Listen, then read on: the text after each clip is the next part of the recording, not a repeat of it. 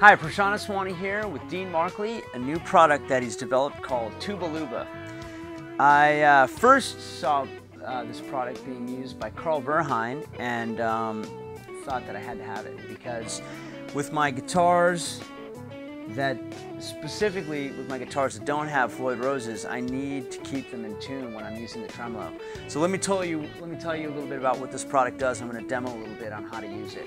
So this is a lubricant for pivot points and you basically can put um, a little dab of this inside the, um, the nut tree here for, uh, for the strings.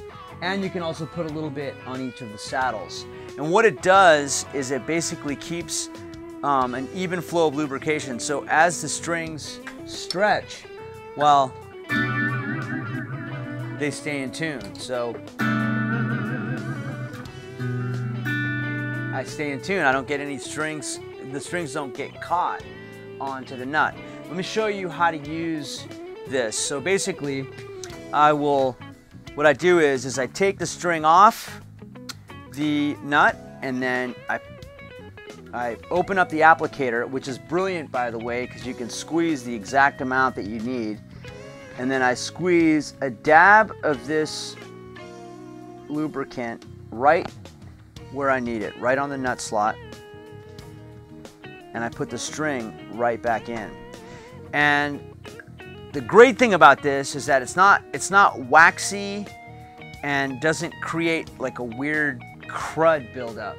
You know, it's a it's a it's like it's super silky and it it dissolves over time. So every time I change the strings or before I'm about to record, I'll go ahead and set up set the nut slots up with some Tuba Luba and I'll stay in tune when I'm using the tremolo. So my guitars are set up really well so even when I take the string out of the slot it's going to stay in tune. I've got locking tuners as well.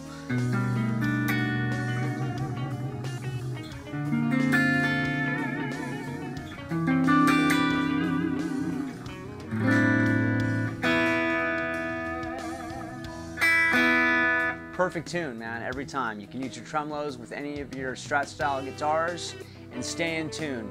The other thing I want to point out is, is that typically there is a string tree in this little slot here. I've removed mine, but for those of you that have it, you can also put a dab of this right under the string tree and, and it gives you additional lubrication at the pivot point. So I hope that you guys um, pick this up because it's really helped me keep my guitars in tune time after time, take after take. Have a good one.